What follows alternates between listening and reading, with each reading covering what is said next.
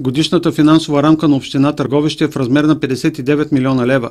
Приходите са над 57 милиона, а увеличението спрямо 2019 е 7 милиона и 500 хиляди лева.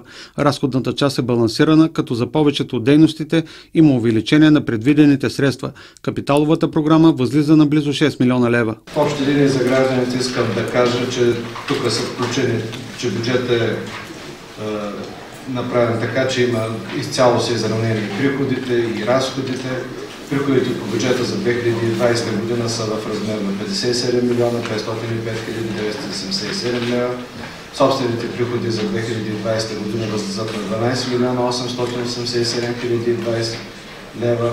Разпределени по приходоисточници както следва имуществени и други данъци 5 милиона 254 хиляди и 500 лева, неданъчни приходи 7 милиона 632 хиляди 520 лева.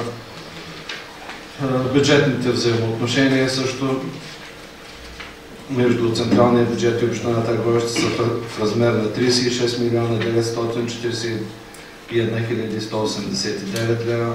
Имаме и получени средства от централния бюджет за капиталови разходи, които бяха получени в края на годината 2 милиона за поддържане на уличната пътната мрежа в общината, които на практика получени в края на годината нямаше как да бъдат изразходени и съответно са преходен остатък, който в момента е източник в капиталовата програма.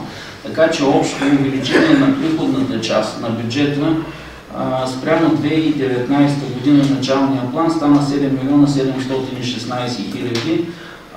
И съответно това, са, това увеличение съответно дойде и в разходната част, която е балансирана в съответствие с необходимостите, които сме преценили по всички функции. Одобрено бе и предложението на кмета доктор Дрин Димитров общината да кандидатства по програма за рехабилитация на уличното осветление на територията на града и кварталите Въбел и Бряг.